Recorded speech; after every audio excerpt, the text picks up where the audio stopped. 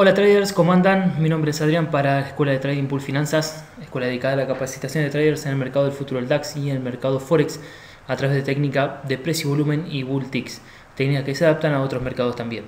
Eh, hoy, jueves 26 de abril, tuvimos una sesión bastante interesante en el DAX en cuanto a las divisas, demasiada volatilidad para operar, ya que hoy teníamos, como podemos ver acá, teníamos datos macroeconómicos importantes, teníamos tasa de interés de la zona euro que se mantuvieron en cero, pero además también eh, la conferencia de Draghi que movió realmente mucho el mercado y generó una volatilidad extrema que hizo muy difícil para operar. En días como hoy a veces es mejor aprovechar alguna oportunidad y descansar y esperar al otro día que, se componga un poco el mercado y seguir operando con volatilidad, volatilidades extremas eh, se pueden cometer muchos errores, se pueden tener días de locuras en el trading, sobre todo nosotros que hacemos scalping y, eh, la cuenta lo puede sufrir. Así que es mejor realizar alguna operación que tengamos una gran certeza de que va a ser positiva y después dejar de operar hasta el otro día. Les quiero comentar que ya están abiertas las inscripciones para eh, el aula práctica de sala de trading de mayo, así que comienza el 7 de mayo.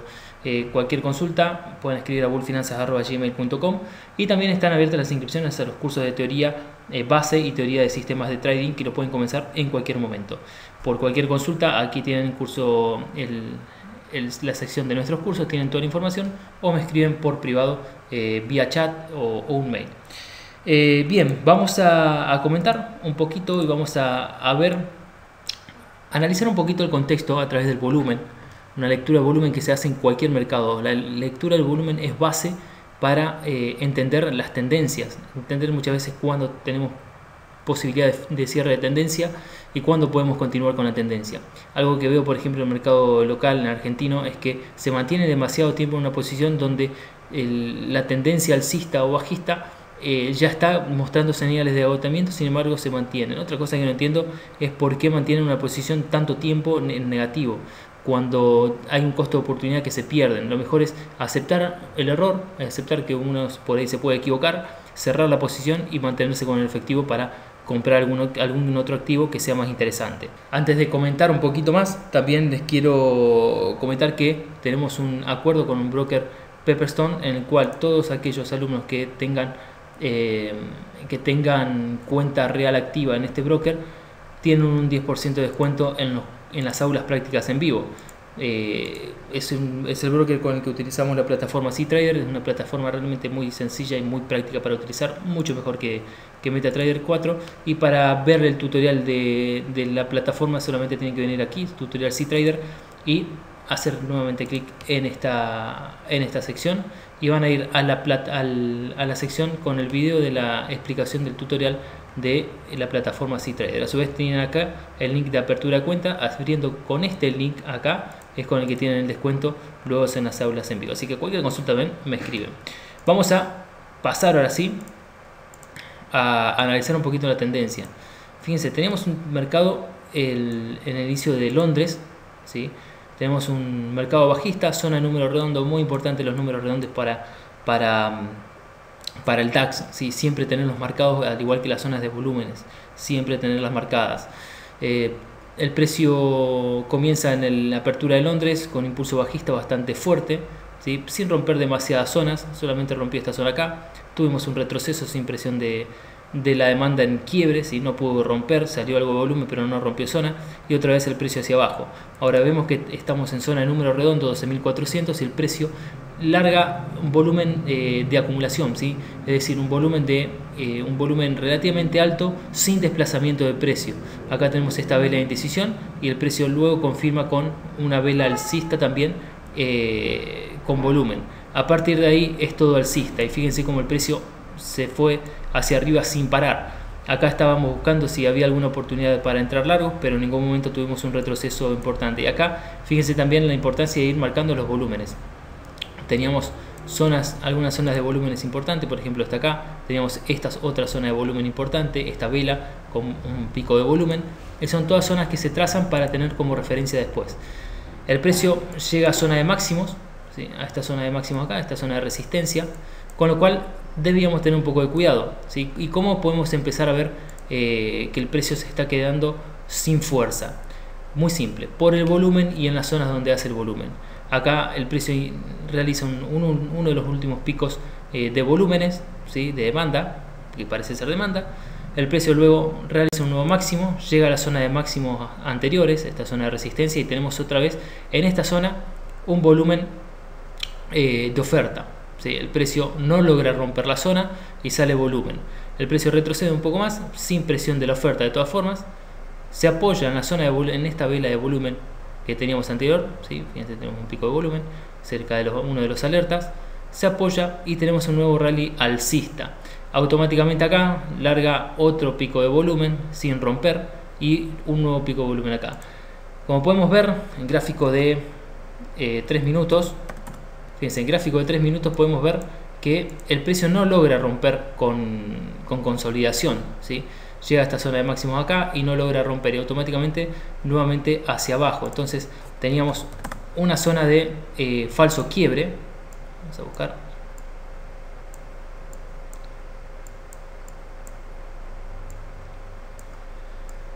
Teníamos una zona de falso quiebre de estos máximos, con lo cual hay que tener mucho cuidado. Siempre después de un rally alcista muy largo hay que tener cuidado con estas zonas y desconfiar un poco de los quiebres. ¿sí? Tenemos un quiebre con un volumen que tampoco es eh, tan importante y el precio comienza a retroceder. De todas formas, de todas formas, en esta zona acá hay que seguir el precio, ¿sí? a ver si no tenemos alguna posibilidad de entrar largos en un setup, ¿sí? siempre tratando de esperar algún setup para entrar. ¿sí? Fíjense que el precio retrocede a la zona de soportes, de estos soportes acá, después del quiebre, con algo de rechazo, pero en ningún momento dio setup bullticks para entrar. ¿sí? Entonces, tener cuidado. Algo que recomendamos siempre es mirar, eh, además de precio-volumen, si tenemos esta bullticks. Si tenemos esta bullticks vamos a tener mucha más probabilidad de que el, precio siga subiendo. ¿sí? El precio termina rompiendo zonas de soporte sin demasiado volumen, pero lo termina rompiendo. Y también rompe esta zona de soporte y de volumen anterior. ¿sí? Entonces, una vez que teníamos este quiebre, lo único que hicimos fue seguir este pequeño retroceso que hizo la zona de resistencia, donde fíjense la cantidad de rechazos que tenía el precio, y es en esta zona donde se generó eh, setup bull ticks, un setup al abajo.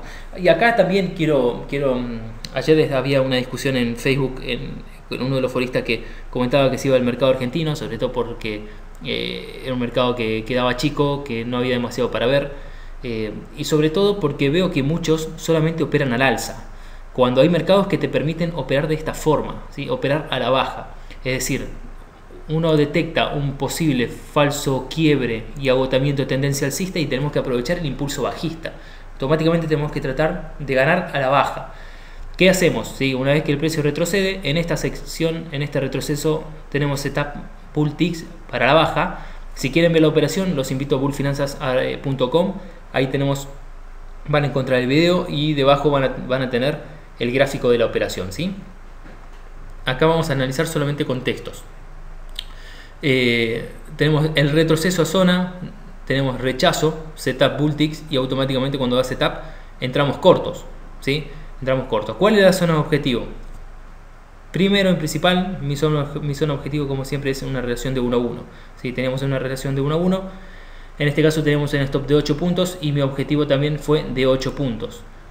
Cabe recordar que en el mercado de futuros, por ejemplo, 8 puntos equivale a 200 dólares. Fue una operación de muy cortito plazo. Y si están en el mercado del CFD, eh, pueden arrancar desde un lote con un, euro, perdón, 200 euros eh, es el mercado de futuros. 8 puntos, 25 puntos el euro. En tanto que en el mercado del CFD puedes controlar un poco mejor el riesgo y puedes arrancar desde un lote que equivale a un euro el punto, es decir, puedes arrancar desde 8 euros el punto, a, y ahí e ir multiplicando por los lotes que, quieren asumir. ¿sí? Eh, es decir, tuvimos una muy buena oportunidad de trading. ¿Cuál es el objetivo? Uno de los objetivos, como decía, era en las zonas de volúmenes. ¿sí? Fíjense cómo el precio se apoya en esta zona acá, ¿sí? el precio termina cayendo, esta era una buena zona de objetivo. Después el precio vuelve a testear esta zona acá, que es también una zonita de acumulación y de soporte anterior. Y después el precio termina retrocediendo otra vez a dónde? A la zona de volumen y de resistencia anterior. ¿sí? Acá ya había que tener un poco de cuidado. Acá había que tener un poco de cuidado. También con la lectura del volumen, fíjese cómo pudimos detectar el, posible falso eh, agotamiento, perdón, el, posible agotamiento de esta tendencia bajista. ¿Cómo lo detectamos? Tenemos un quiebre con intención y volumen, pero automáticamente después, fíjense en estas dos velas, cómo sale volumen también de demanda en, el retroceso. ¿sí? El precio testea por las dudas esta zona de resistencia, intenta ir a la baja un poquito, no logra confirmar la oferta, fíjense cómo sale, sigue saliendo volumen constante y automáticamente después el precio nuevamente hacia arriba. Fíjense también cómo reacciona el volumen en esta zona, ¿sí? tenemos zona de resistencia y en esta vela acá, fíjense cómo tenemos una vela de volumen, ¿sí? sin desplazamiento, sin quiebre. Entonces, ¿qué quiere decir acá? Que presiona la oferta. ¿sí? Lo que no teníamos acá era un muy buen contexto para operar, porque teníamos, si bien teníamos una tendencia, una zona de volumen en tendencia, en zona de resistencia, también predominaba un poco la tendencia alcista, con lo cual había, que tener cuidado. Sin embargo, acá dio un setup muy claro y una caída muy pero muy rápida. ¿sí? En este caso yo no lo operé, ya que había operado en esta oportunidad, cumplí mi objetivo diario, tengo el objetivo semanal ya cumplido, con lo cual trato de no sobreoperar. Así que bueno, eh, tengan en cuenta siempre el volumen a la hora, de operar, eh, tanto en acciones como en DAX. El DAX es muy prolijo en cuanto a volumen. Eh, acciones, por ejemplo, se pueden seguir en gráficos mensuales, en gráficos semanales. Gráficos diarios un poco sucio las, acciones de acá Argentina, pero se pueden encontrar con cosas muy interesantes. Esto fue todo por hoy. Les recuerdo nuevamente suscribirse al canal si les gusta, compartir la publicación, el, video y mm, cualquier consulta por los cursos están disponibles bullfinanzas.gmail.com, el lugar donde aprendemos a operar en vivo. Les mando un abrazo y nos encontramos luego. Adiós.